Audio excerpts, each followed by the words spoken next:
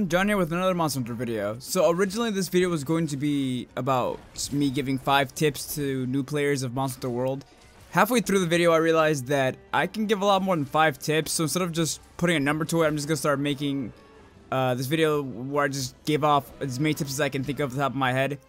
Uh, these are tips that range from early game to maybe mid-range, uh, mid-game of the game, of, uh, these tips might range from early game to mid game in Monster Hunter World, so it's good for new people. So starting off, choosing your weapon early in the game. Uh, if you're new to Monster Hunter World, I highly recommend using lighter, faster weapons, just because you haven't uh, gotten used to the monsters in the game quite yet, especially if you just literally just started. So, uh, in other games, the Sword and Shield wouldn't be the very best weapon, at least my opinion. But now after all the mechanics they've put into this th damn thing, it is fantastic. The Sword and Shield is an amazing, noob-friendly weapon that I highly recommend anyone to use when you're starting out the game.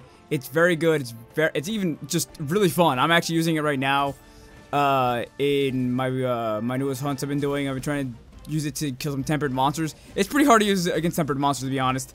But it's it's really good. It can be used with items, so if you're running around and you quickly select the uh, item with your uh, select selection wheel. Uh, you can use it right there and there, even if you have your weapon out. It's fine. It's great. It's it doesn't get uh, put away. You can still keep fighting. Uh, so you can shoot a flash bomb out while you have your sword out, and it's really useful. And it's great for early game players. Uh, another another thing you should be doing with the weapons, so you get to use them instead of going out there and dying. I mean, you could go out there and die if you want, or you could just go into the training room and practice, learn the combos. The com uh, the basic combos are also in your hunter's manual, so you can just open up your little manual and check the basic combos. It doesn't give you too much, really. It doesn't give you all, all the greatest uh, attacks, but it gives you something to start off with. And just start spamming the button. See what see what kind of combos you guys can get out. Uh, see which one does the highest numbers. See which ones you can roll out of, just so you can get out of certain situations where you're stuck in the middle of a fight. Uh, another great tip is while you're out there in the in the game, you can gather things really really quickly now. So when you're going by anything you can pick up, just pick it up. Pick up everything. I also highly recommend you guys look for honey, herbs, and bitter bugs. Honey and bitter bugs make catalysts which can be used to help make demon drugs, armor skin, and to a later later extent, mega demon drug and mega armor skin. And those are very useful items for end game and mid game. So farm as much as you can now and gather up as much as you can right now when you're starting out the game. Herbs are used to make potions, which you need to stay alive. And you can mix potions with honey to make mega potions. So yeah, stack up now, gather as much stuff as you can now. Also, when you're just out there, pick up everything. Like literally everything. Don't get shy. Because uh, if you decide to switch over to guns, you can pick up stuff that makes bullets. So, bug shells, uh, fire herbs, make coatings for arrows, stuff like that. You just gather as much as you can out there. Go if you have like an hour before you go to work, for example, just take that hour and just farm. Just farm for materials and gather as much as you can. Empty out your inventory, just gather as much as you can. But another good way to actually get more material, another good way to get materials is to use this giant farm tree thing you get in the game. At some point in the store, you can unlock it. So just go to the store and eventually someone's going to talk to you. They'll have exclamation point over their heads and they'll tell you that the farm is unlocked, a giant tree. You just need to uh, give them material for it or do an optional quest. And you can even upgrade it further to get even more stuff to farm for. And it's very, very useful. You can just farm honey, farm herbs, farm bitter bugs, farm whatever you want.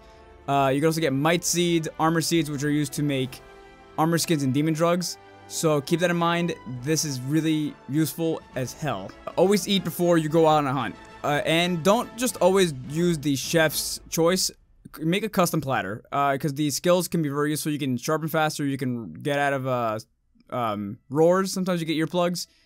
Uh, they also help you with debuffs sometimes, uh, depending on the skill you want. It's really great to make custom platters, just because you can start to understand what skills are. You can see what skills stack better. You can mess around with them. Your cat also gets buffs from them too, so that's really useful. Your early game armor sucks, so your default armor is bad. Replace it with literally anything. Just get rid of it, get different skills on different armors. Uh, I highly recommend getting the Pukei Pukei armor and then the Anjanath armor if you can get it. because early game that's really useful. Anjanath is very, very good for uh, gunners or bow users, or even a gun lance user, because you can use wyvern fire with the uh, one of the abilities it has on. It's really useful. After that, I would get the Rathian armor and then the Rathalos armor if you can get your hands on it. If it's too hard, I would just stick with Rathian for a little bit. Have your friends help you with the Rathalos later on. Research monsters as much as possible. Uh, the way you can research monsters is by uh, killing them or capturing them or just fighting them in general.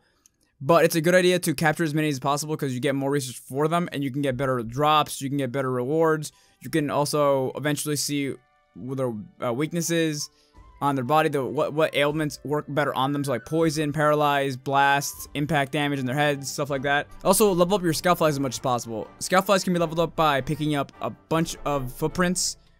Uh, just walk over the footprints, push circle, pick it up. There you go. It's, it's really not that complicated. Uh, get as many footprints as possible, and your scout flies will eventually be able to tell you if the monster is dying and is able to be captured with a little skull over its head in the map. Or it can also tell you where the monster is going, which is also extremely useful if you lost it, you don't know where it's going, you just open your map and check it out. There it is, it tells you where, where it's going. Get equipment and weapons and abilities for your Palico. Your Palico is your best friend and he will be there helping you the entire time of the game. So, on every map there is these little signs that look like cats. Follow them, gather them up with your uh, and it'll lead you to the leaders of that area for the cats. And they will teach your Palico, no, no, they'll give your Palico a mission, you and your Palico a mission, and you have to go do it. Once you do do it, you will get a new ability for Palico. It ranges from flash bombs healing bugs, uh, a little face shield thing that can get the monster's attention off of you, a drum that buffs you, which is my personal favorite, a blade that makes it so the monster drops more items, and a ballista that shoots bombs at the monster, which is just amazing. And I highly recommend you guys get that. It's so much fun to use that one. Uh, this one's pretty simple, uh, but a lot of people don't seem to do it. I've fucked up on this before too. Make sure your inventory is all set before you go on a hunt. So make sure you have 10 potions, 10 mega potions. Make sure you have your armor skins. Make sure you have your mega demon drugs or demon drugs, whatever you want. Make sure you have your flash bombs. Make sure you have your antidote if the monster has poison. Make sure your inventory is all good and set if you're going to go on a serious hunt.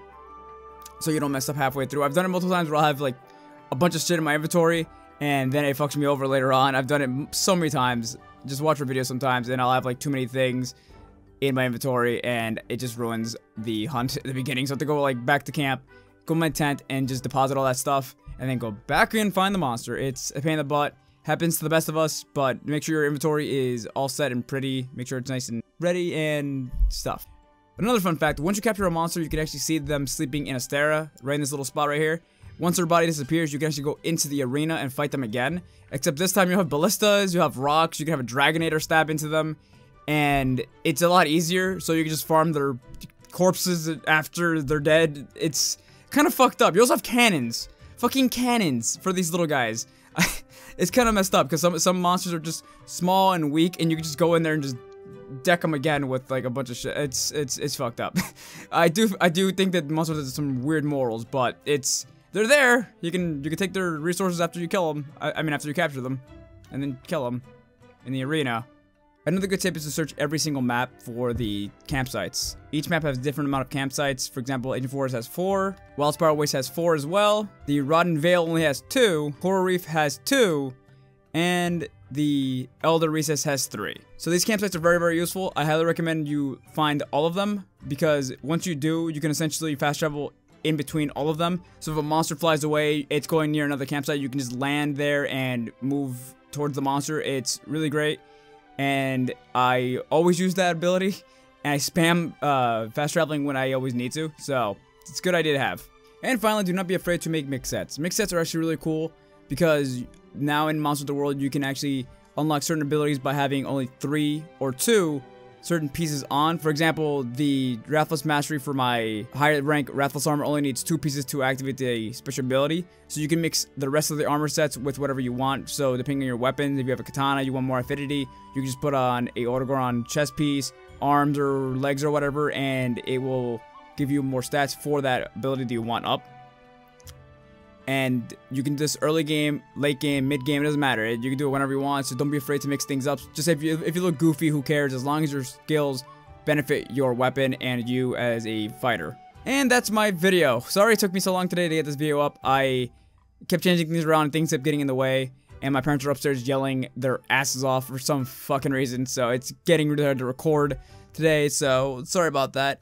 But if you enjoyed this video and found any tips useful, please let me know in the comments down below or like this video. And if you want to see more from our channel, subscribe to Red Triton Gaming for more. And please follow us on Twitter to get notified because YouTube's notifications are shit.